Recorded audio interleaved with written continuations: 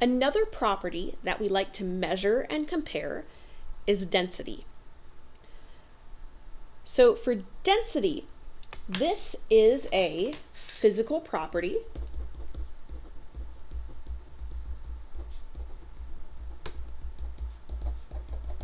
And it's actually a pretty darn important physical property in the world around us. The official math the official definition for density is the ratio of mass to volume. So, quite literally, the equation we use to calculate density, because we could calculate it, is mass in grams over volume.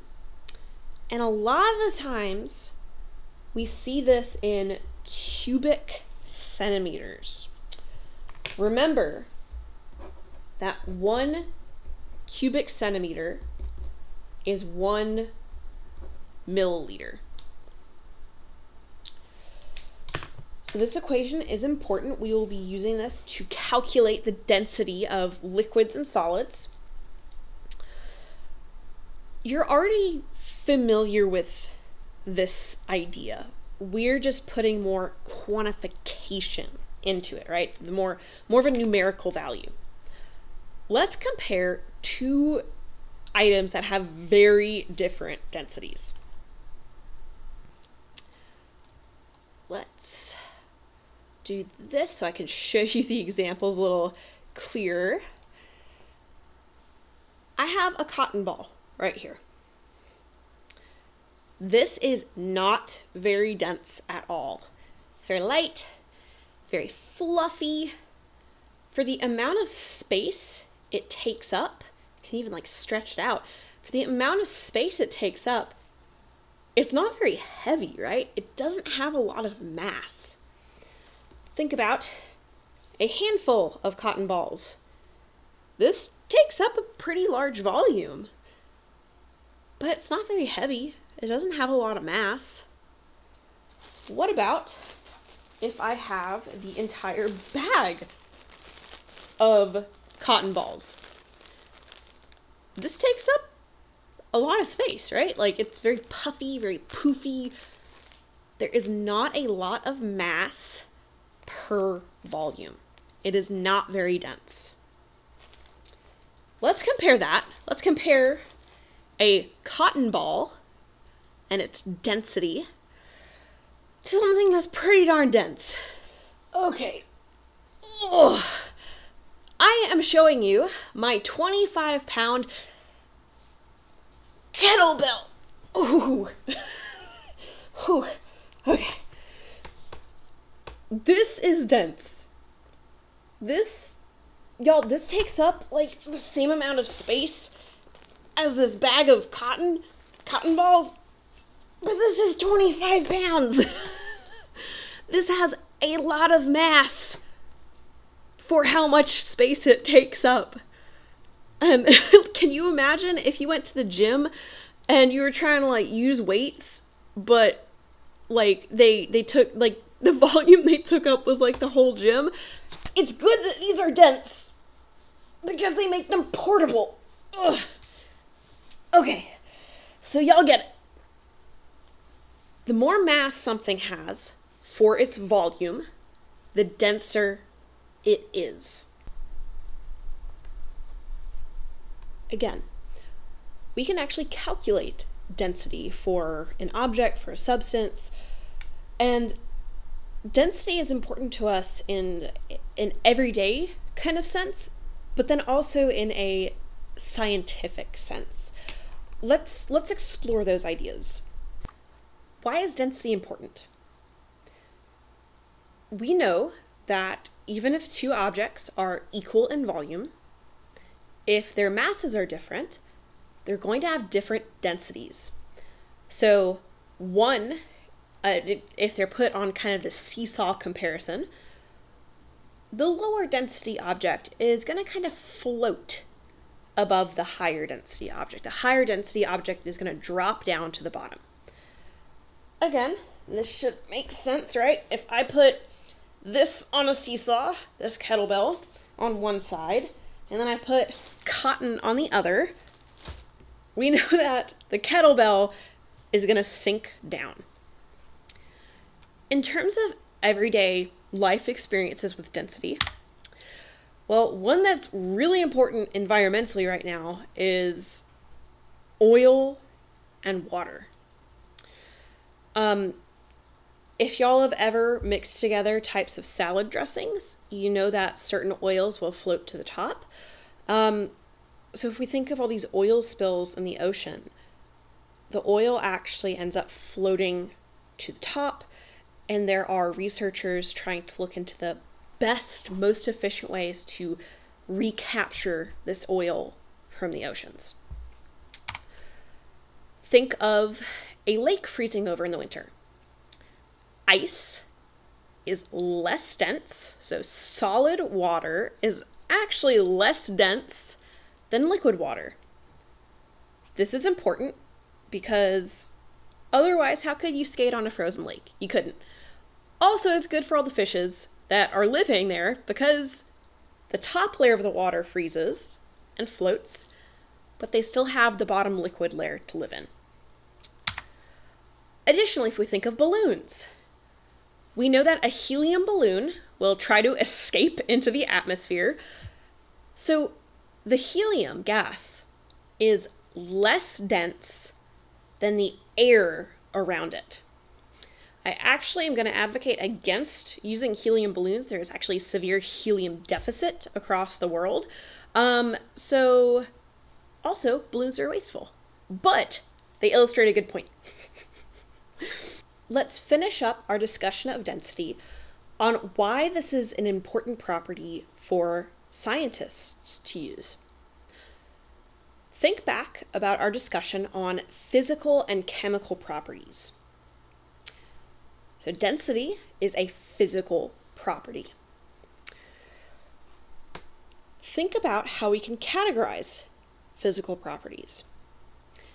We can define them as being intensive or extensive.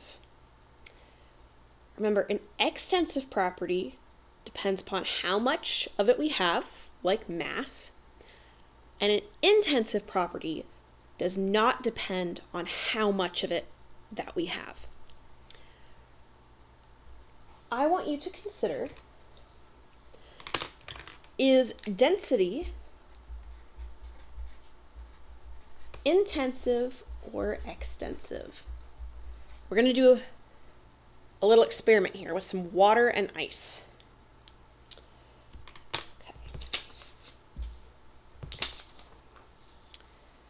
Intensive or extensive? So what I have right here are two cups of water, just plain old water from my sink.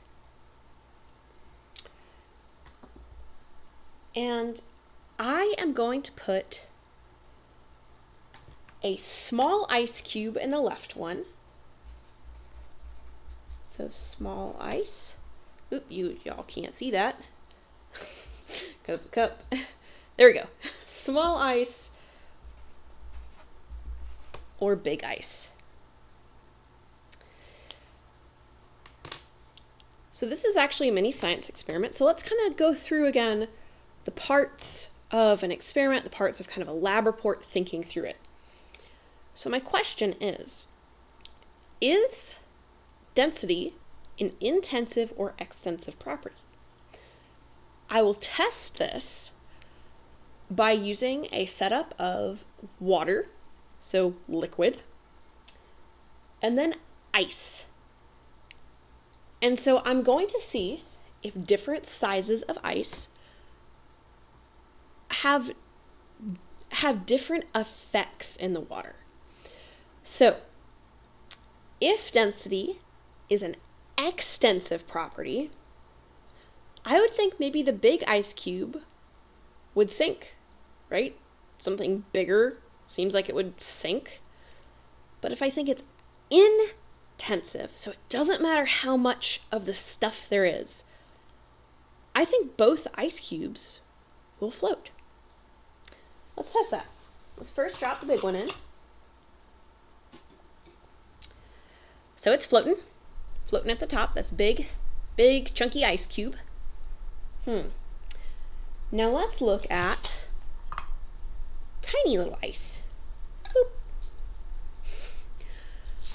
All right, both ice cubes float. So this this helps prove that in fact density is an intensive property. That's important because say we're in the lab and we only have a little bit of sample we're working with. We can't make more of it. Density is a property we could compare regardless of how much of it we have. So density is pretty darn useful.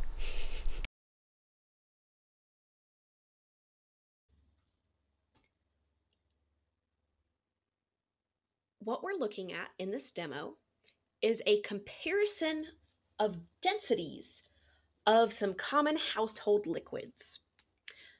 So you see that I have some honey, water in the beaker, isopropyl alcohol, dish soap, and canola oil. I'm also adding some food coloring to some of these liquids so that they're not only easier to see, but it's also more colorful, more fun. I will be adding these various liquids to the graduated cylinder you see in the back. So again, just adding some food coloring to make this stuff look pretty. What I want you to consider is the densities, the relative densities of these various liquids. You can see that this dish soap is more viscous, more dense than water, and we know that honey is pretty darn dense. How do these liquids compare to each other? What happens if we try to layer them and stack them one on top of each other? What will happen? What will the most dense liquid do? And what will the most or the, the least dense liquid do? So again, what you see here is just me prepping these various liquids to make them look pretty. I'm going to add them in a very specific order to the graduated cylinder to make a very pretty layered liquid density column. Let's fast forward a little bit to get to the good part where we start adding the liquids. Okay, so we've sped through some of the prep stages. What you see right here is the order I'm adding the liquids to the graduated cylinder. Honey, soap, water, oil, alcohol. I want you to think about which of these you think is the most dense and which you think is the least dense. That's honey in the very bottom. Now I'm going to add dish soap. So do you think they're going to mix? Do you think the dish soap is going to go to the bottom? Let's see. So that's red dish soap. So notice that it's forming distinct layers. This is because they have differences in density. This is analogous to the ice cube in the water. One is less dense than the other, so the ice floats on the water. So I'm just adjusting the camera a bit to give you a better view. And next, I'm going to add the blue water. I made it a little bit too blue, but let's see what happens.